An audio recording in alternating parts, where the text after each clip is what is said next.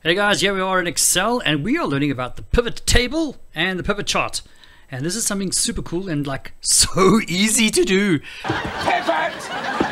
And um, it's like free marks in any exam, guys. You know this stuff, it's free marks, okay? Watch how easy this is. Pivot! Pivot!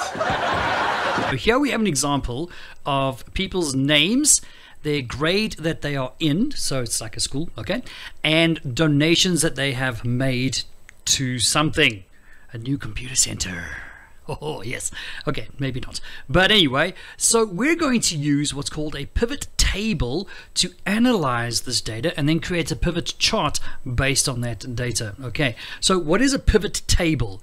A pivot table is basically just a way of being able to manipulate data or process data to show what we want to see out of it. So it's kind of like, um, what's the word I'm looking for? Filtering and sorting. Okay, you know when we have a table and we filter and sort the table, it's kind of like that. But I'm going to show you how it works in Excel. Have a look, guys. First thing is I'm going to click on cell A1 okay because I'm going to have to I'm going to want to have to use I'm going to want to have to use all of this data right here and it's quite a bit eh let's see how much do we actually have we've got like 500 people okay so 500 students from grade 8 all the way through to grade 12 have all donated money. Man, this computer center is going to be great. So I click over here. Okay, great. Then we go to insert. And here in my insert tab, my tables group, there it is over there, pivot table. Okay, so I click pivot table. Now, the first thing that it does is it asks you where is this range, okay? And it automatically assumes and tries to select the most likely range, which is our table at the moment. So from A1 all the way down to C501. That's perfect. So it has done that for me automatically.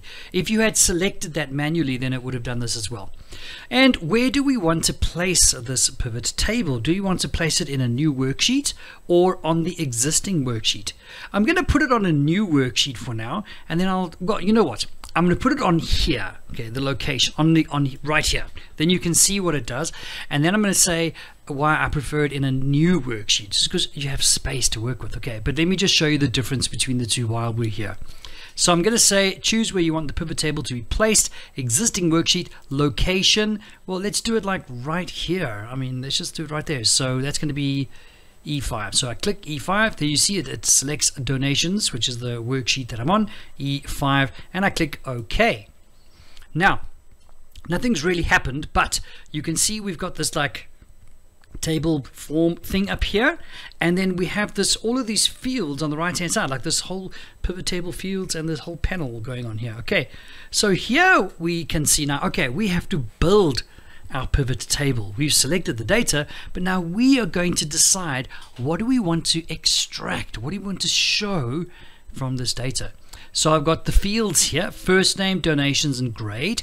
At the bottom here, I've got filters, columns, rows, and values. Now watch what happens. If I just click on uh, grade, okay, it's going to pop it down automatically into values. If I click on donations, it does the same thing.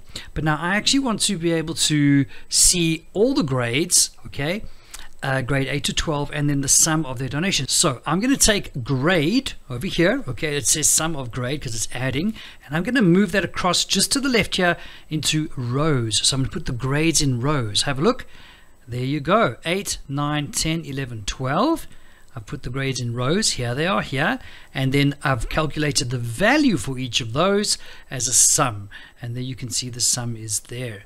So that's like the most straightforward, easiest way of doing this. Okay, I'm going to show you a few more things with this data and also putting it on a new sheet altogether. So I'm going to delete this. All right, it is gone.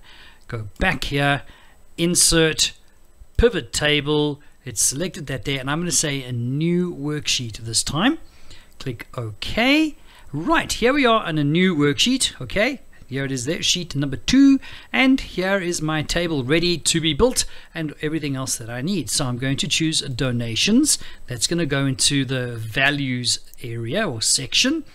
Grade, you know what? You can actually just do this. Watch this. Grade, I'm just going to click and I'm going to drag it down into rows there it is. Okay, so you don't have to click and then move things around. You can actually just drag it straight there as well, which is pretty cool. And then here it says in the value, it says sum of donations. Now, at the moment, this is just numbers, and I would like that to be formatted as a currency. So watch what we do, guys. Click on your little drop-down arrow here. The value field settings are there. And it says summarize values as, show values as. Show values as what? And over here you can see I can't select anything. I've got to go to number format. Number format, I want to show these values as currency. Click OK click OK, and they are now displayed as currency. Now, this is the fun part about pivot tables, is that you can take these fields and sort of move them around into the different areas, the different blocks, and just see what they do. So for example, if I took grade and I put that into filters, okay, watch what happens to my data. Okay, I've got a sum of all donations. I've got this in row number one now. I've got it says grade and it says all. I can actually go here, click on this all, I'm going to make that a bit bigger for you guys. And I can select a specific grade. So I can go to grade 10, for example, and click OK. There we have, I've filtered my data by the grade 10s, and there it is there. Okay, or I can say select multiple items. Move that down a bit there again. Sorry, my screen's small, so. And I can do maybe just 8 and 9, like the, you know, before the 10s, 11s, and 12s, so it's 8 and 9. Click OK, and there we are. 8 and 9, there's the sum of their donations. Let's put this back here and show you what a chart will do. Okay, oh, you know what? And let's just clear the filter from grade. There we go. So, guys, that is what a pivot table really is. It's the easiest, easiest thing. You can either select your content, hit insert pivot table, or just go to the top, the beginning cell of your content, insert pivot table. Okay, the rest is here. And you kind of just, you know play around with it and see what it does. When you see a drop down arrow, click on it. Okay, click on it, see what you can do. Now, the chart part of this, the chart part, super easy as well. Watch this. I'm clicking on my table here so I can have access to my pivot table. Insert pivot charts. I mean, this is not rocket science, guys. Insert pivot table, insert pivot charts. Click on pivot chart. It's going to go with the most likely recommended chart that it will use, in this case a clustered column. I'm happy with that. Click OK and voila, we now have a pivot chart. I mean, it looks kind of like a normal chart, and it mostly is. I mean, you can do pretty much everything else that you could do with a normal chart here. But the difference is we have a live filter option here, and I can actually change data dynamically, if I just go and choose maybe 11s and 12s, I click OK, I can actually change data automatically and have it charted or graphed right away. I don't actually have to go and reselect certain pieces of data or certain columns or certain rows. I can actually set my filters right here, which is actually very, very nice. And there you go, guys, a pivot table and a pivot chart. Paper! Shut up! Shut up! Shut